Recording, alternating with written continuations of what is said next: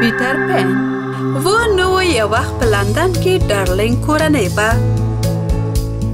په کورنۍ کې پلار مور سره له دریو بچو اوسېدل مایکل جان او مشره خور یې وینډي وینډي ډیره مینه ناکه وه او همیش به یې د خپلې کورنۍ خیال ساتو هغوی یو سپی درلود چې نینا نومېدو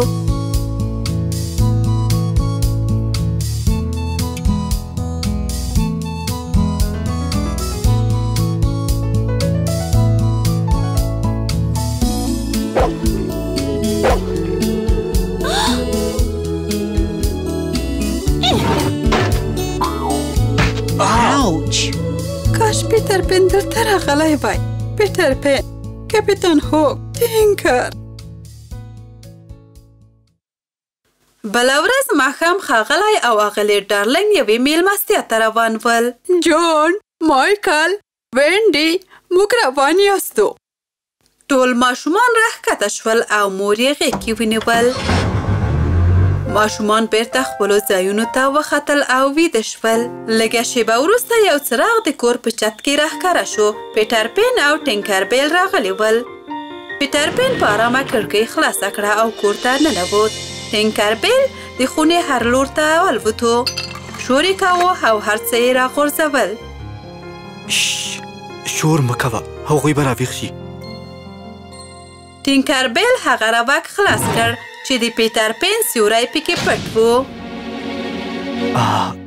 صبر چې بیرته وتړم پیټر هڅه وکړه چې خپل سوری بیرته وتړي خو ناکام شو شش مخوره وه خو وینډي وخت پاسېدلې وه او په خلاصه خلو پیټر پین ته ځیر وه او نه ته څوک او دلته څه کوي زه پیټر پین یم زه کوشش کوم چې سیوری مې ځان پورې بیرته وتړم ما ته یې راکه زه یې وتړم وینډي په ستنه او تار د پیټر د سیوري ګنډل پیل کړل کله چې وینډي سیوری ګنډه پیټر ورته د خپل اوسېدو ځای په اړه ویل چې په نیورلند کې اوسېږي ټول ورک هلکان هلته اوسېږي او دا یې مشر دی هغه د هلکانو کیسه وینډي ته وکړه خو ټیکر بخیلې کوله او واو تاسو څومره خوندور ژوند لرئ ته ما سره هلته ځې زه کولی شم زما ورونه هم تلای شي هو ولې نه ته به د هلکانو مور شې او د خوب په وخت کې به ورته کیسې کوې سمه ده سمه ده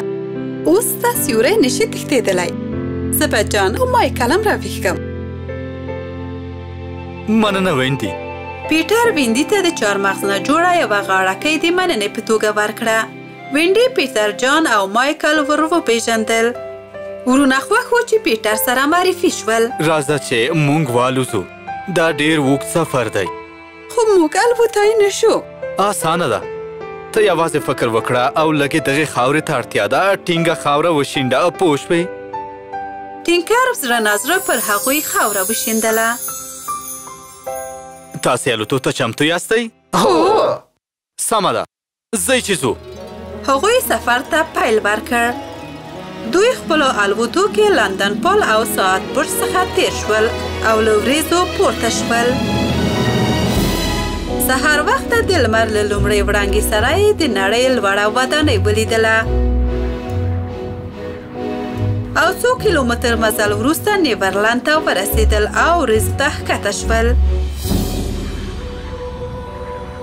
څومره ښکلی.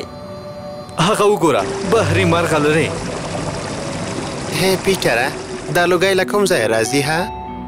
هغه سور هندي کمپ دی. تاسي باید هغه بیړۍ هم له پامه ونه غورځوئ. جیمز هوک د دغې بیړۍ خاوند دی خو بیړۍ چلوونکي نور دي. هوک ډیر بد سړی دی خو هغه له تمساهګانو نه ډیر ویریږي. ولې؟ یوه ورځ ما له هوک سره جګړه کوله او د هغه لاس مې په خپله توره پرې کړو. تمسا د هغه لاس وخوړ. لاس یې ډېر خوند ورکړ نو ورپسې شو چې ټول وخوري. هوک بختور و چې تمسا یې لاس سره ساعت هم تېر کړی و. کله چې تمسا هغه ته نږدې کېږي نو هوک د ساعت اواز اوري او ځان ژغوري. د بېړۍ یو کارکوونکي د دوربین په واسطه له نږدې لیدل. مشره! مشره! ما پیټر بن ولید او ملګري هم وو. هوک پورته راغی او دوربین یې له کس نه واخیست چې خپله یې وګوري. سلا مو چمتو کړئ، پیټر هدف کړئ او فایر فایر وکړئ. دا ځل به زو هغه نه پرېږدو چې ژوندی لاړ شي. هی وګورئ هلته توپ دی راځي چې لوبې پرې وکړو. هغه عادي توپ نه دی بم دی، ځئ جدا شئ باید ځانونه وژغورو. ټینک. ماشومان خوندي ځای ته یوسه. زه به له هوک سره وګورم ځای لاړ شئ. ډینکر د ویندي په اړه په ذهن کې غلط فکرونه درلودل. ویندي، ته همدلته اوسه، زه بېرته راځم. سمه ده، په احتیاط ولاړ شه. هغې د جان او مایکل لاسونه ونیول او په آرامۍ یې ساحل کې ښکته کړل. ویندي هوا کې پاتې شوه او د هوک له ډزو یې ځان وژغورو، خو پیتر پن هوک پسې ولاړ. هوک ته د بل لاس هم پرې کول غواړې راځه نو ما ونیسه هوک خپل ټوپک راویست او پر پیټر یې ډزې شروع کړې پیټر د مرغه په څیر ځان له ډزو وژغورو ټینکر هلکانو ته غږ کړ چې مرسته ورسره وکړي هلته پنځه هلکان ول ټوټلز نپس کرلی سلایډلی او غبرګونی هلکانو پیټر راته وویل چې د وینډیپونو مرغۍ وژنئ مونږ باید د وینډي امر پر ځای کړو. دغه مرغۍ په نښه کړئ. هلکانو خپل ټول غشي وینډي ته مخامخ کړل. وینډي هڅه کوله چې ټول پیدا کړي. پیټر پین، جون، مایکل، ټینکر بیل، تاسو ټول چیرته یاستئ؟ نبز خپل غشی وینډي ته مخامخ کړ او هغه یې په زړه وویشتل او هغه په ځمکه راوغورځېده ټولو وړوکو هلکانو مرغۍ خواته رامنډه کړه او ټینکر بیل هم ورسره و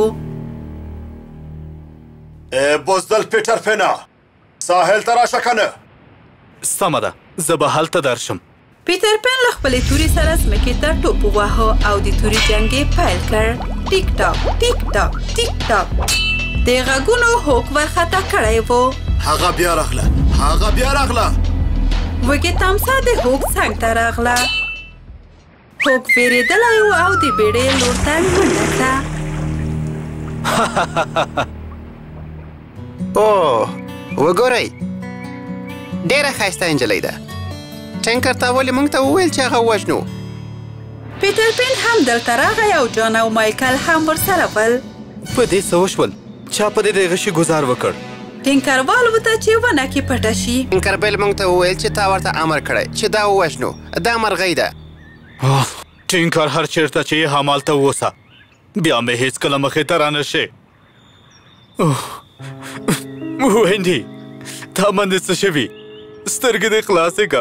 پیټر د وینډي له ټټر نه غشی راوویست. پر غشي باندې وینه نه وه. پیټر پوه شو چې غشی د چارمغز پر غاړه کې لګېدلی چې وینډي ته یې ډالۍ ورکړې وه. پیټر! زه تا پسې ګرځېدم. زه هم دلته یم راځه چې کور ته لاړ شو ته ولې موږ ته د خوب سندره نه وایې سمه ده حتما زه به درته د سندریلا کیسه وکړم بله بله کیسه وکړه کیسه وکړه په سبا يې ټول روان شول چې سمندري حیوانات وګوري. هغوی د پیټر ملګري ول. ناڅاپه یو هلک چیغې وکړې. هله! سمندري غله پټ شئ! ټول د ډبرو تر شا پټ شول. پیټر او وینډي وکتل چې سمندري غلو هندي شهزادګۍ ټایګرس لیلي په ونه تړلې ده. او نه! ټایګرس لیلي! زه باید هغه وژغورم. پیټر د سمندري غلو د مشر غږ وویست. هغه آزاده کړئ. خو مشره تا ویل چې هغه دلته راوړم. هغه پرېږده احمقه. دا زما نوی پلان دی چې پیټر پین ونیسم. سمه ده مشره، سمه ده. سمندري غلو تایګرس لیلي آزاده کړه او هغې په بیړه د هندوانو کمپ ته منډه کړه. کله چې هوک خبر شو، پوه شو چې پیټر یې کسان دوکه کړي دي. هوک نور هم په غوسه شو. بس دی نو! زه به اوس پیټر پین ته عقل وښیم. زه در روان یم پیټر پینه! هغه شپه وینډي ماشومانو ته د هغو دریو ماشومانو کیسه وکړه چې خپل کور یې پریښی او نیورلند ته الوتي دي.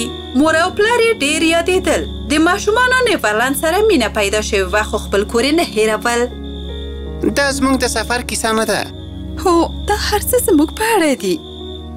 کله کله د مور او پلار ماشومان هیریږي او نور ماشومان د هغوی ځای نیسي زموږ پلار او مور موږ ته په تمه دي موږ باید اوس کور ته ولاړ شو موږ به سبا سهار حرکت وکړو نو موږ ته به کیسې څوک کوي ها تاسو ټول موږ سره راشئ موږ سره به ژوند کوئ څومره ښه ده چې سړی کورنۍ ولري څومره ښه ده هو بله بله هو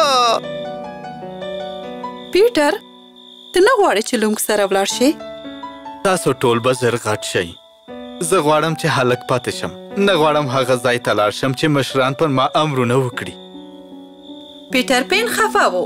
ځکه سهار یې ټول ملګري تلل او یوازې پاتې کېدو. سهار ټولو ماشومانو کور پرېښود او روان شول. پیټر دننه کور کې پاتې شو. هوګ او سمندري غله نږدې پټ شوي ول او ماشومان چې راوتل نو هوګ نیول او له ځان سره یې سمندر ته وړل. ټینکر بیل دا هر څه له ونې کتل. او خدایه! پیټر پین چیرته دی؟ زه باید هغه خبر کړم. پیټر! پیټر! ته چیرته یې پیټر؟ څه شوي دي ټینکر؟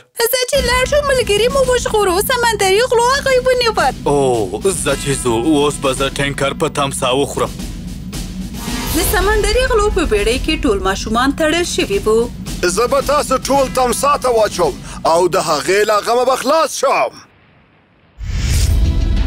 ته مې ولیدې هوک هوګ او پیټر بیا د تورو جنګ شروع کړ پیټر خپله توره راویسته او هوګ یې وواهه هوک اوبو ته وغورځېد او تمسا روغ تیر کړ او هوک ختم شو ټینکربیل هم له ماشومانو سره یو ځای شو او ټول ماشومان پر پیټر راټول شول پیاوړی پیټر د کیسو د اتلانو په شان اوس به زه ستا کیسې ماشومانو ته کوم. او راځئ نو ملګرو ځان چمتو کړئ کنه خپل تصمیم مو بدل کړو. پیټر خیر دی له موږ سره ولاړ شه. زه پیټر پین یم هیڅکله نه غټیږم زه به تاسې ته کوره ورسوم.